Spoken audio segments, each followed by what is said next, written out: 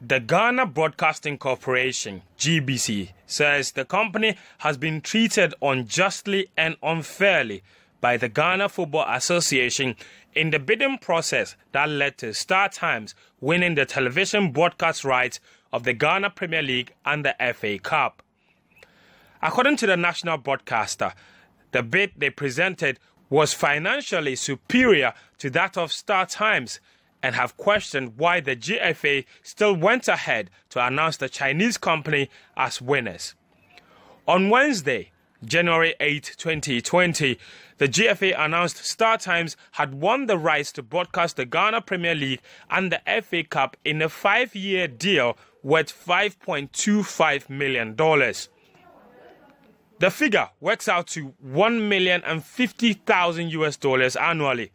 This amount GBC claims is lower than their offer of 1.100,000 US dollars.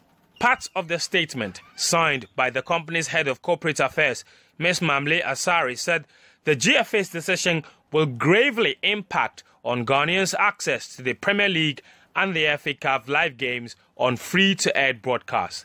GBC ultimately wants the bidding process reviewed. Both technically and actually the GBC offer was superior. That is not in doubt. Te- technically, we know that GBC has a free to air capability, StarTimes does not have that. We also know very well that we have a network of FM stations, StarTimes does not have that.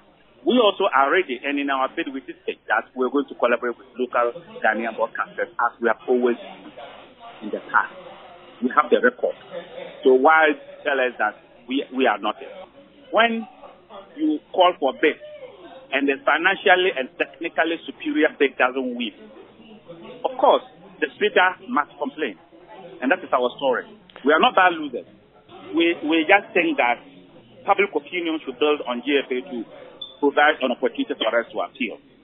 Public opinion should build against GFA to let them review their decision or to come public and show us to full disclosure because even though it is a professional association, of course, it, it, it should demonstrate fairness to Ghanaians. That Ghanaians deserve a fair GFA.